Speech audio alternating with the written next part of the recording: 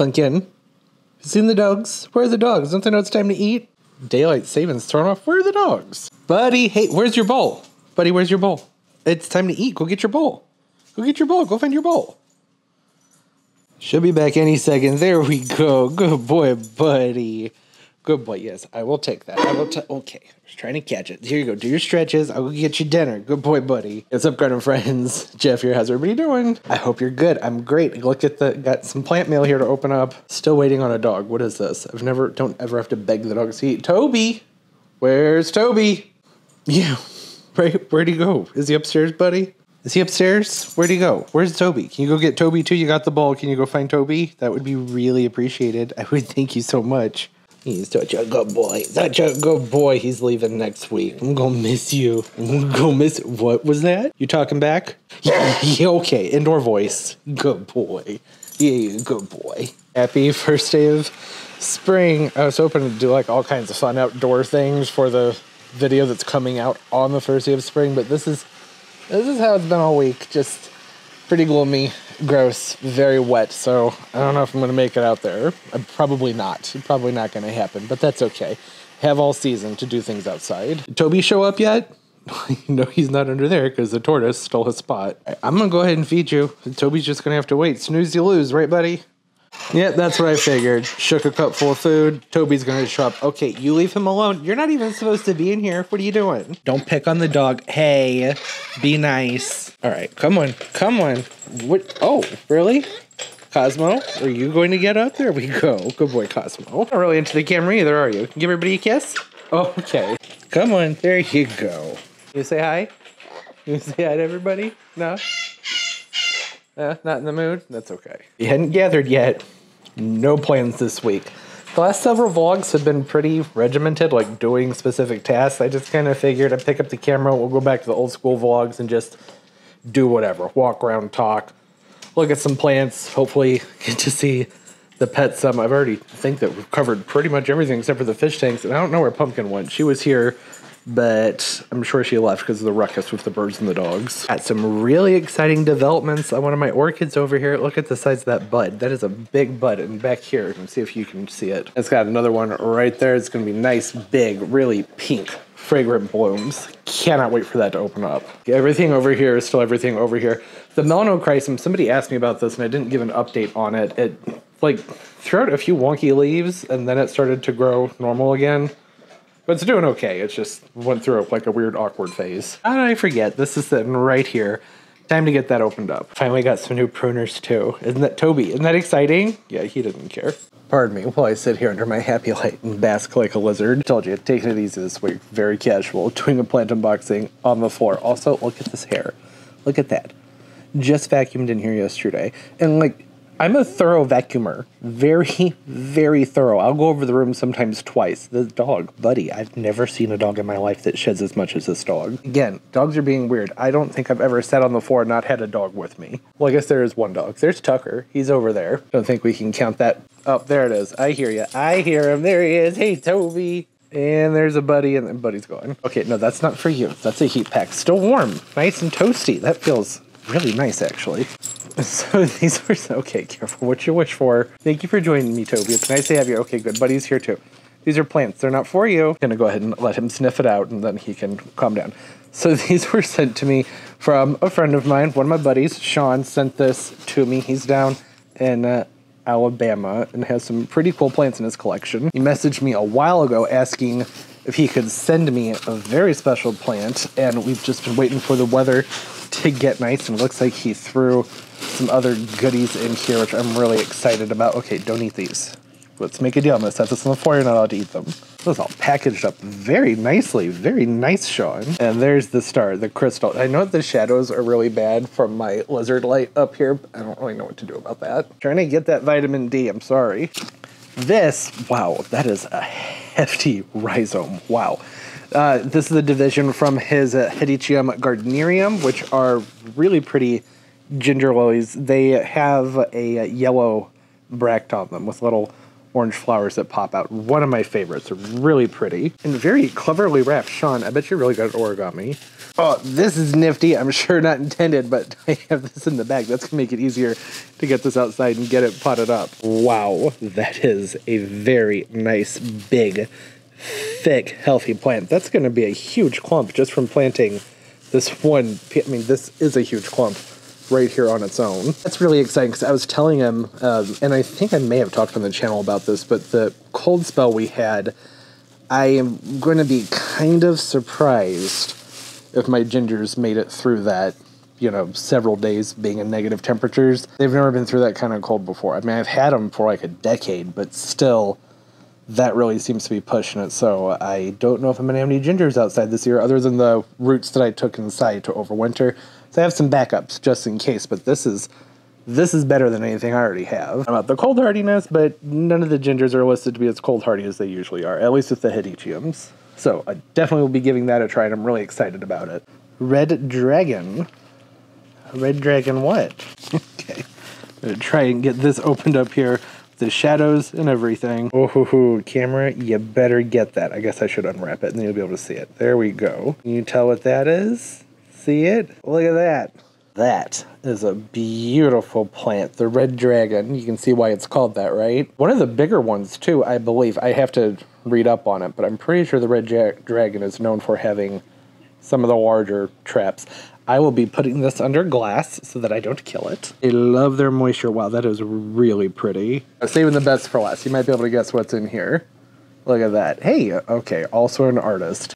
Tempting to hold the camera up with the dog's turtle toy down here. I also just noticed that my wireless mic has been flipping and flopping all over the place, so if the audio's wonky, that's why, and I apologize. Trying to open this one up as delicately as possible because I know that what's in here is a special plant. Oh, oh, so pretty. Look at that beauty. Anthurium crystallinum. Potted up and looking great. This is a really nice, healthy plant. Got the new growth on it and still one of its older leaves, which I am cool with. I think that that's actually nice to have as much green on there as possible. Nice healthy growth from down below and this feel I can feel it. And the pot has that nice weight to it. You know how when you pick up a pot you can tell that the plant's rooted in doing well and it's an established plant, not just a cutting that's been jammed into some soil. I know Sean wouldn't do that, but I'm just saying, you know, with plants in general, I know a lot of people order these. and You get them bare root, and that's totally fine to do it that way. I gotta say, I'm pretty elated that I don't even have to worry about potting this up. That makes me so happy. I was all prepared to go out into the grow space and get my aroid mix out and start potting things up, but I don't think I'm going to have to. Not right now, anyways. I think I'll take this out there though, because it's more humid in the grow space. I have some of the nicest foliage. The veining is so dramatic, and look at the way it shifts with the sheen and that shine. Stunning plant. You know, I just realized that this is a pretty special plant. I chose to sit on the floor with my dog. Sit on the floor with my dog, who already abandoned me, and probably took it too casual. I don't think I did this plant justice. But here we are. That's all right. An absolute beauty. Sean, if you're watching this, thank you. Gotta say, he really knows how to package up some plants. That is, it always amuses me, is that the plant people will oftentimes send things packaged 10 times better than any nursery. We're in the business of selling them. But yeah, it's different when you're doing it on a daily basis. You're doing it by bulk and I understand that. The hobbyists, it's like we know what the pet peeves we have when it comes to shipping. Can you see the leaf on this sparkling? Is that coming through on camera? Seriously though, do you see that sheen that's in there? It looks like there's actual glitter inside the veining on these leaves. That is so pretty to me. That's it's remarkable that plants can do that. How these characteristics can exist in a plant that are like mesmerizing. So shiny. I, I should probably get off the floor. I've had my 10 minutes. And then hopefully pick back up. Maybe the rain will go away and get some pruning done and some fertilizer laid out into the backyard. If not, you can go out in the grow space. We haven't really been out there in a while. Excuse you. What are you doing? There's no kitties up on the. Ki- oh my gosh. Okay, okay. I slipped up and didn't close the lid to the cookie jar, but that doesn't mean you just get to Charlie. Get your face out of there. It's rude. Those are for everybody. You need to share it and get down. You're not supposed to be up there. There you go. Don't look at me like I'm going to reward you. You didn't do anything special. okay, fine. One treat. Positive reinforcement. There you go. Enjoy your cookie. Positive reinforcement for getting his face into the cookie jar and eating the cookies. Pumpkin, you want one? Want one pumpkin? There you go. I'm sorry for waking you up. I'm so sorry. Don't have to be so mad about it. You just wanted some privacy. You didn't feel like eating on camera. That's fair. Don't you, sweetheart? I accidentally forgot to take the camera off of slow mo when I started this vlog because I had been filming, like, finishing clips for the Spider Mite video right before I started filming this. Just briefly, let's enjoy this moment of beauty with Pumpkin and her fluffy fur. Kind of grainy because the lighting was low. I wasn't prepared to film in slow mo, but absolutely beautiful.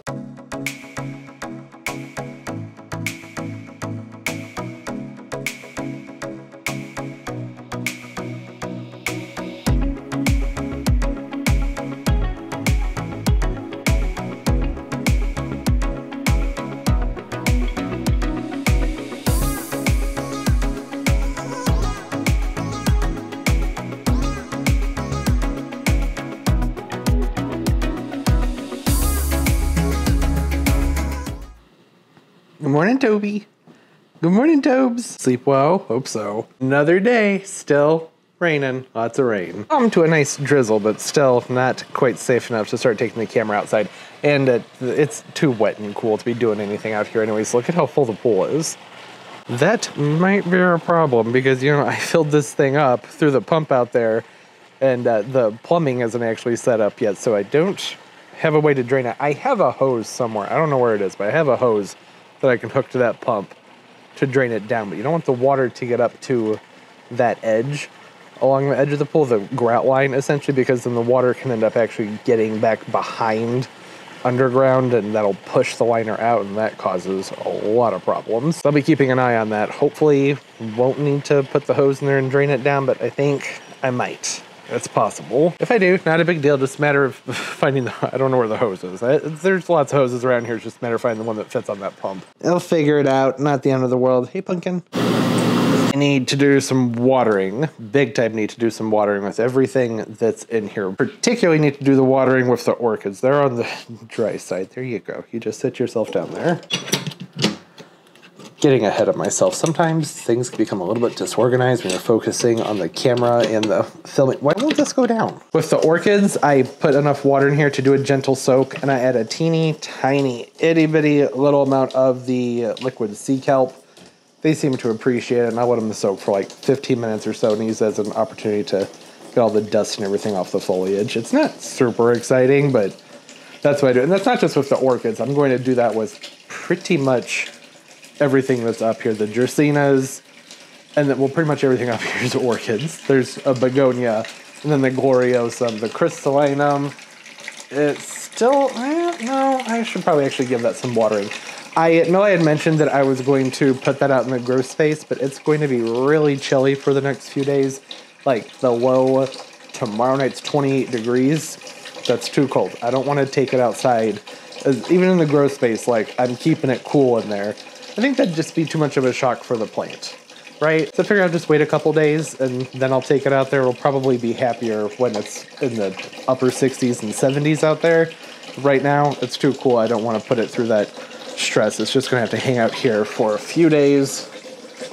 Not a big deal. No action from the artichokes yet. At least I don't think there is. Not seeing anything in there. I could probably moisten this just a smidge more when there's condensation on the top, which there is, then I usually don't fuss with making sure to add more water, but that's still it's pretty light layer condensation. Give it a couple more days. If I'm still not seeing anything, then I'll add just a tiny bit more water and spray the surface. I had my finger in there and it felt okay. It didn't feel very dry. Hopefully sometime in the next week I'll start to see some action going on there. Those will pop up some little sprouts. Here's round one.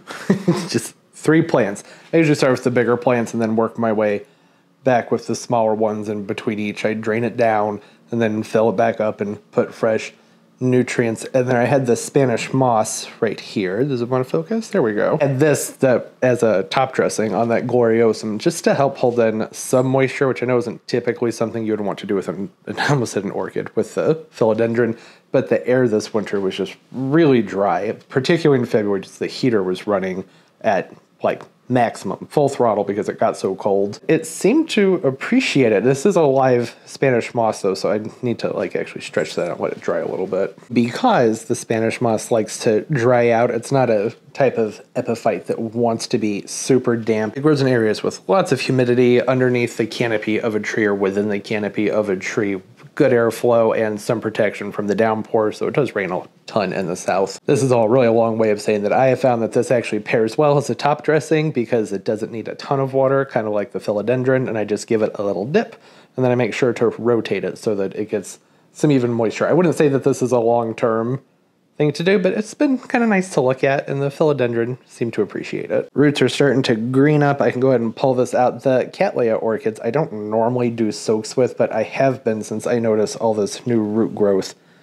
down here below at the base, and it has a new cane starting to shoot up there. When they're doing their thing, putting out new roots and some new growth, that's generally when it's a good idea to water them more frequently, so I'm just trying to stay on top of that, especially because it has buds on it. Oh, can't wait to see those open. And I just pull these out. These were not the plants to be demonstrating this with. Every every single plant that's in here is very top heavy and wonky. So that one's going to drain. I'll lift the drain out from down here.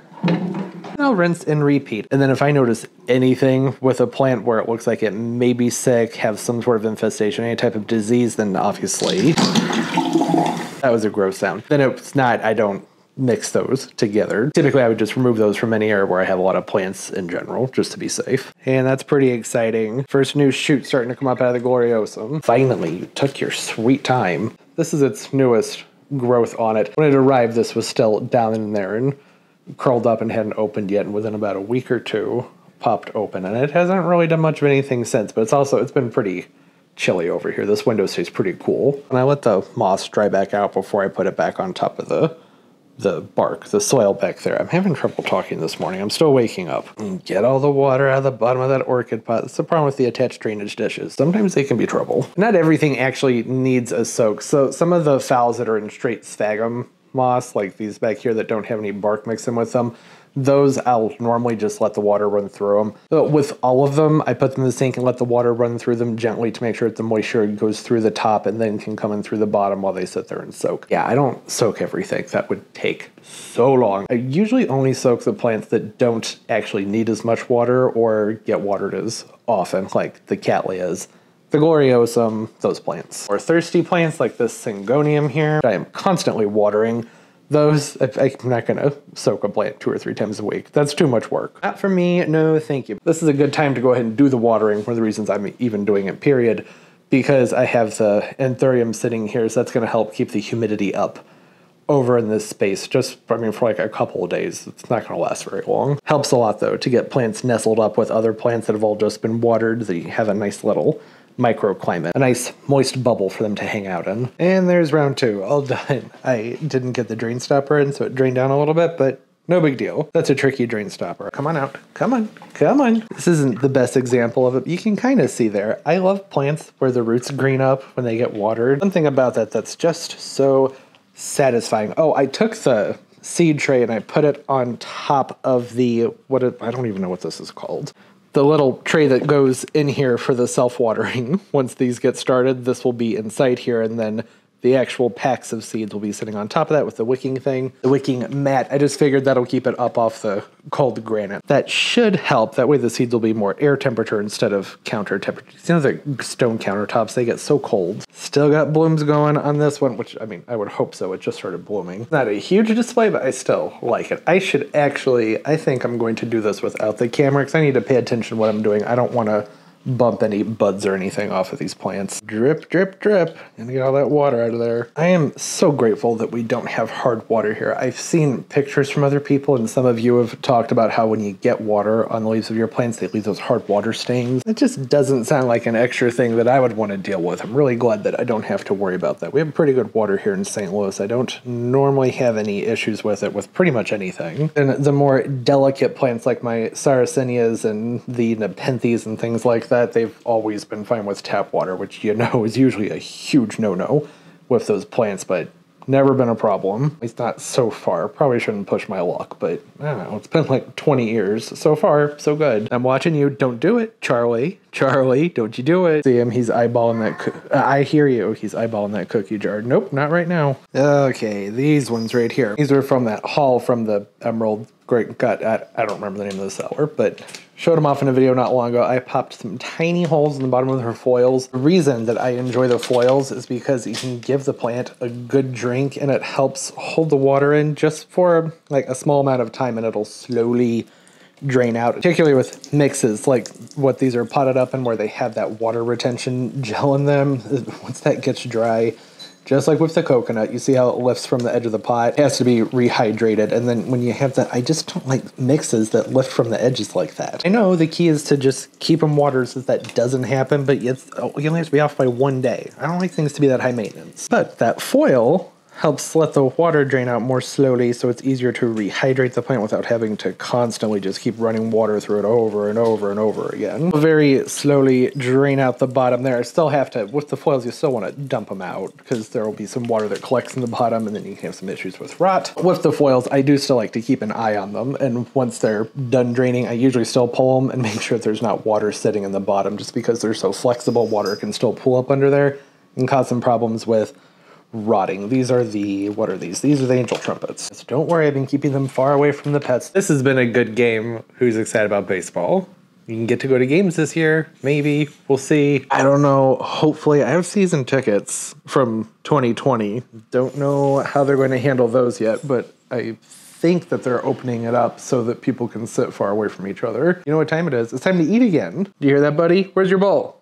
Where's your bowl? Oh, never mind. I have your bowl. Don't go look for your bowl. That'll make me. I'll feel really bad. Don't do it. Baseball. That has nothing to do with anything. I need to get back to doing plant things. Problem is, I'm kind of low on plant things to do inside. I went out to the grow space and I was like, well, there's. I don't need to do anything out here. Everything's watered and just there. Don't need to do any pruning or anything like that. This door has been so tricky ever since we had that cold snap. Go on. There we go. There we go. I thought it had stopped raining, but nope. It's okay. Rain is good. Oh my gosh, it's really cold. Do a sneak attack. Pumpkin. Hey. Hi. How you doing? Well, it's not true. There are some things that need to be done, but it's pretty much all repots with some which involve soil, which I left out there in the rain. Oops. I got some new shoes. I know I did. I got another pair last week. Look at I don't know how that's going to show on camera. Can you see it? You see that? How about now? About now, look at that. They change colors. One second ago, oh, look at that. It's pretty. It's purple. Then you turn foot and go, uh-uh. It's blue. Fooled you. I really want to go outside. Been stuck in here too long. I think pushing day four or five here. Rain is good, but I need to play with my plants. Yeah, I realize that even though there isn't really much to do out here, you can still come out and see the plants. It's been a minute. Everything's just hanging out, doing its thing. There's some damage from when the temperatures were bouncing around between like 39 and 94 over those few days when things were really hectic. Learned some lessons about the space heaters and brands of thermostats not to invest in ever again. Got a new leaf starting to pop up there on the tie. Cannot find a good angle to get that. There's the leaf starting to come out there from the tie. That's actually really exciting because, you know, I just repotted this when was it? Like October? Maybe even September. I don't remember. It was one of the last things I did outside before moving the plants in. And I bumped it up into a really big pot. It lost two leaves, but they were the oldest growths on it, so I didn't freak out about it. And it's finally starting to put on some growth. Usually during the winter time, that tie just throws leaves out left and right and left and right. A little bit different this year because I kept the temperatures cooler in here, not as warm. Things are growing as actively as they usually are, and it just had a new pot. So I'm happy to see that it's like finally starting to accept its new soil and new life in its big pot and start to move and grow again. Bugs are starting to become an issue, but nowhere nearly as bad as they usually are this time of year. Just lots of gnats and flying things I just go through with the same spray I talked about in the spider mite video.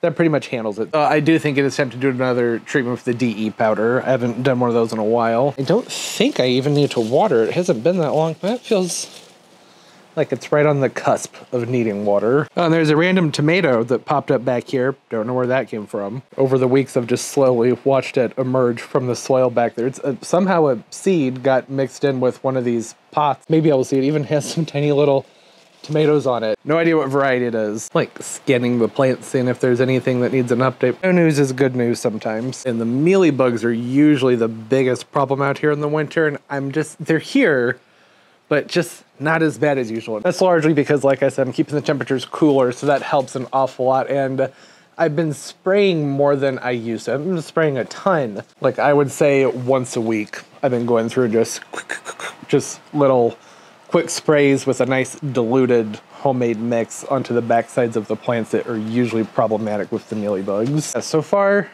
it's nowhere near as bad as normal. That was a big one. Get that wiped off of there. It's bird of paradise.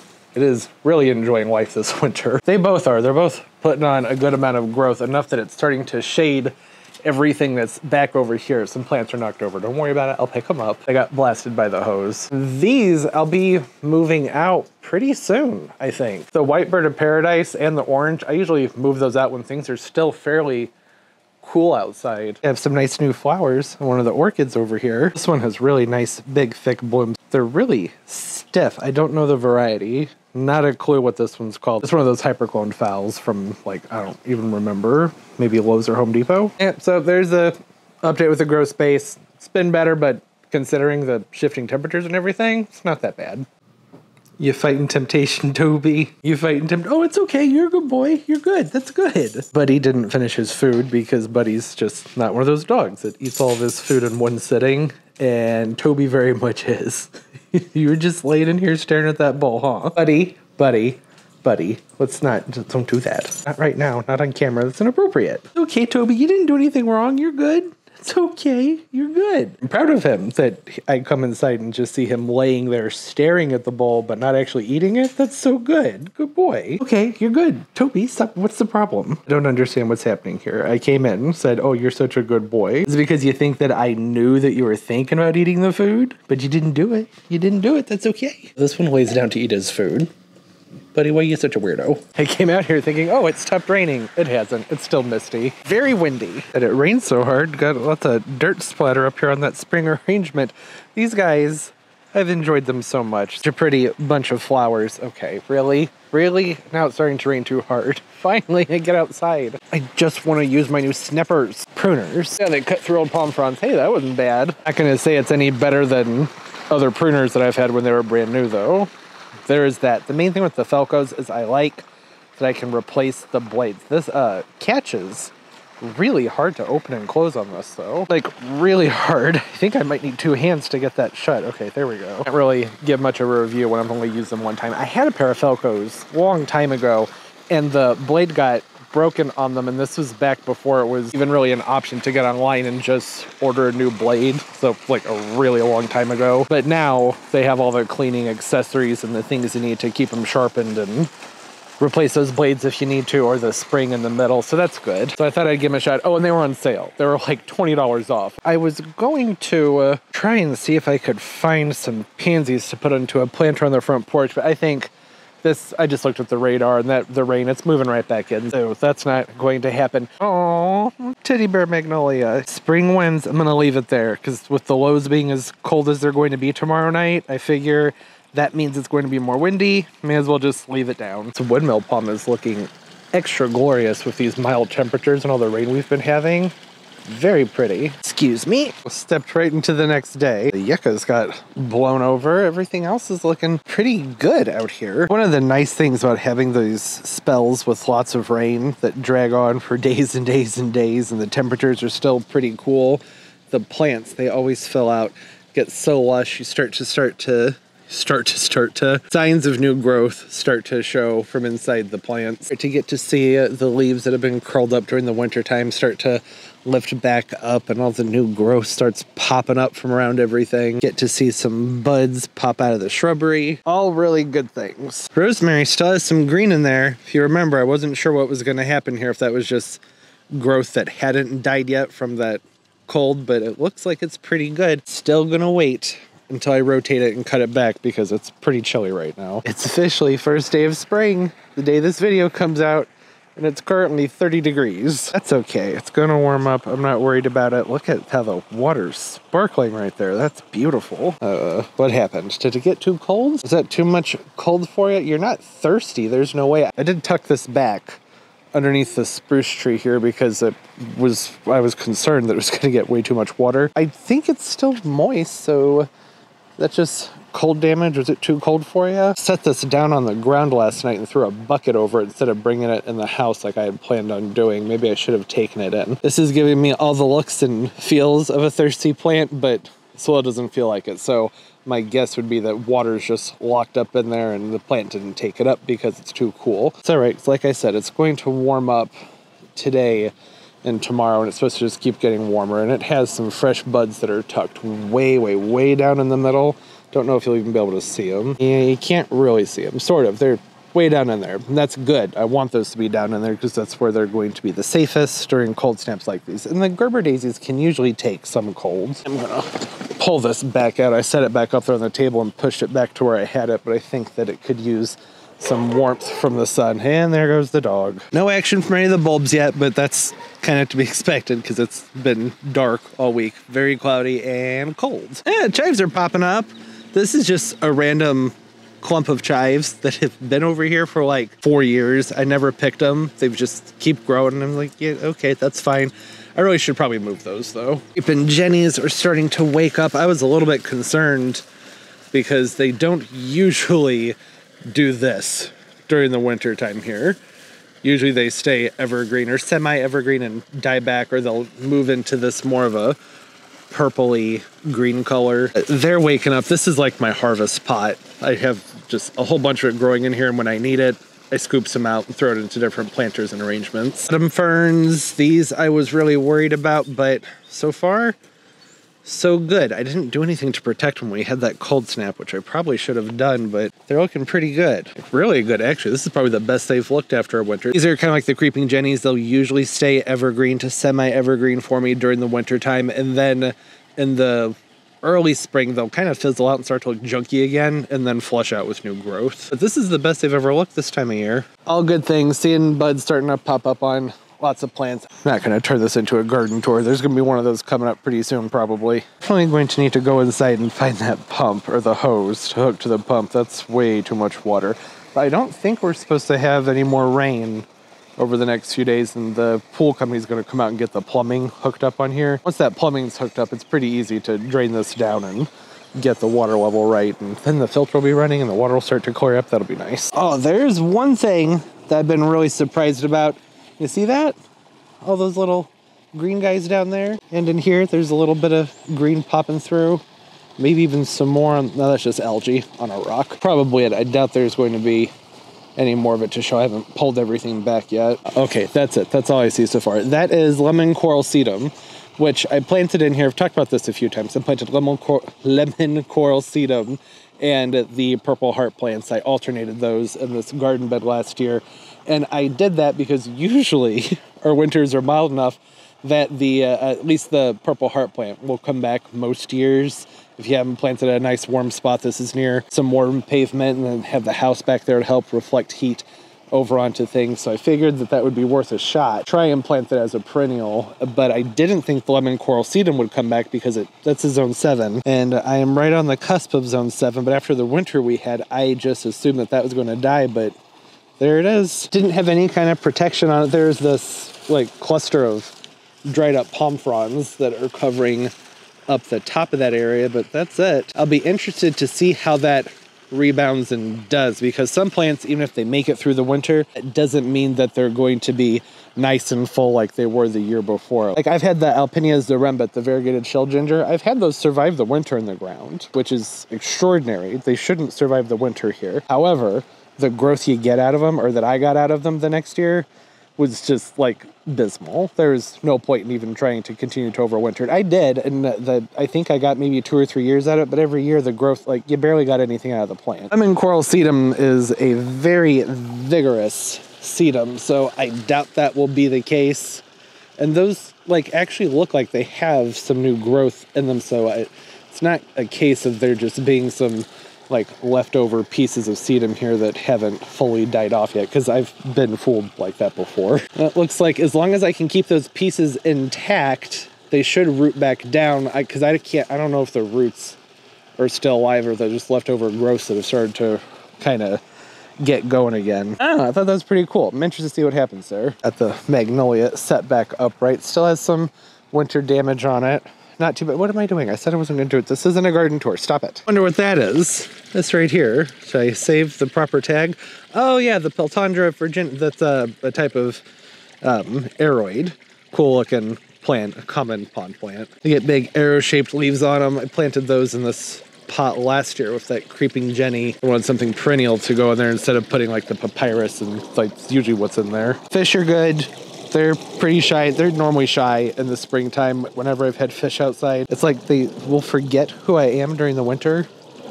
And then it's not until it becomes time to start feeding them again on a regular basis that they go, Oh, yeah, you're the one that brings me food. I haven't been feeding. It's still really cold. They're just swimming around munching on whatever's in there. Lots of plant life. They're not going to be hungry. They're not even awake enough probably to be that concerned with food. Ah. Look at God, that's so pretty. I know it's probably bugging some people that haven't cut those dead fronds off yet. I figured just because this is the one that had, this is a mule palm that suffered a good amount of cold damage because I really pushed it to see how much it could take and discovered 13 degrees Fahrenheit we'll never do that again. I usually bring these in at 15 and I let it go a little bit colder this year. Well, you can see how that worked out for it. But this is how we learn things, that's okay. But I've left these on here because it's still, it's a super windy time of year, as you can see right now. Very windy.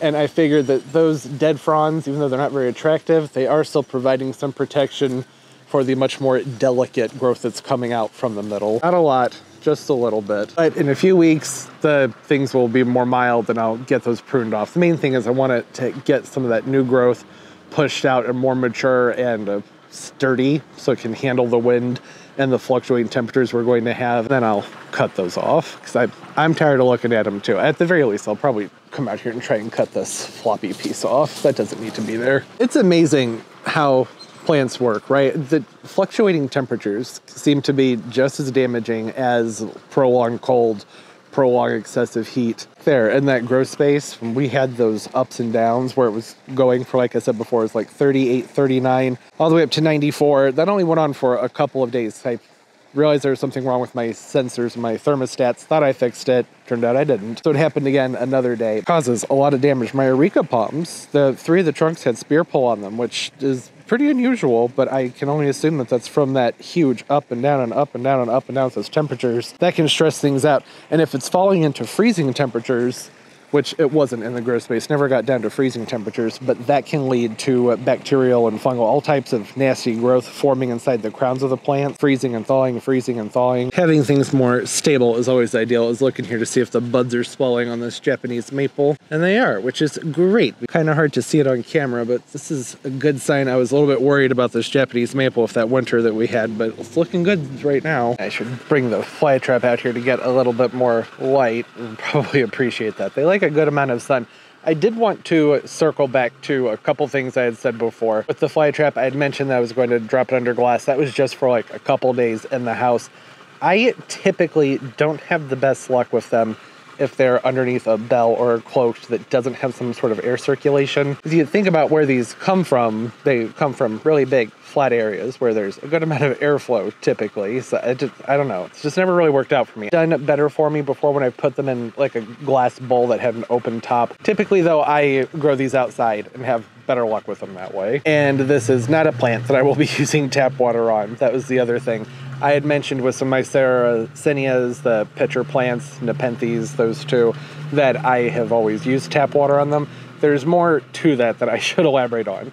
I grow them outside, so they mostly get rainwater, and on rare occasions, they get some water from the hose, but not much. They don't like minerals and lots of buildup, anything like that in their soil. They need a low TDS and chlorine and fluoride, chloramines all those things can be problematic. I've just been lucky and really pushed it, and I shouldn't do that. I wanted to make sure that I made that disclaimer because one, people will eat me alive in the comments section, and I'm not in the mood for that. And I don't want to mislead anybody to have you thinking that should use tap water. I've just I've been bad and haven't been doing things what you're supposed to, and somehow I've been getting away with it. The Sarracenias, it's not really that surprising. They, depending on what kind you're growing, I usually only grow the ones that are for temperate climates that can take a lot of cold, good amount of heat, and they go into bog planters normally that I put in my pond. I used to have an entire bog garden And that's when they got most of the tap water because they would get overspray from the sprinklers. Not a lot, but still probably more than they should. And they did okay. Don't know why or how, but they did. But well, the tap water here does have a pretty low TDS. Like I was saying, pretty good tap water, but it still has minerals and things in it. So this will be watered with filtered water and it will be going into a bog planter at some point. I know I mentioned that it's cold and then I brought this outside. It shouldn't be a problem. Usually these can take some cold, sometimes even appreciate it. In the sun, it's been like 10 minutes since I said it's already warmed up several degrees, but still should be fine. Not too worried about it. Temperatures should be up in the uh, grow space here in a like a day or so. Now that we're gonna start trending warmer, it, the way I have things set up with the heaters, you're keeping things roughly 20 degrees warmer than whatever it is outside, because we're not getting cold enough this time of year to need to run all the different heaters. They just dry the air out, make things much more complicated with the plants. I would rather have it be uh, more cool and mild than have to mess with the constant watering. But both ways, whether it's hot or cold, they come with their own caveats. Like when it's cold, like I was mentioning with this, it can be harder to tell if the soil's dry because it's cold, and sometimes cold soil feels wet. You know what I mean? Hot in the grow space have to water much more often, but when it's cool, it can be harder to tell when it's appropriate to water. If you water at the wrong time, then you can rot the plants and kill them. Anyways, yeah, I think that in a day or so I'll be able to get the anthurium out there and anthurium,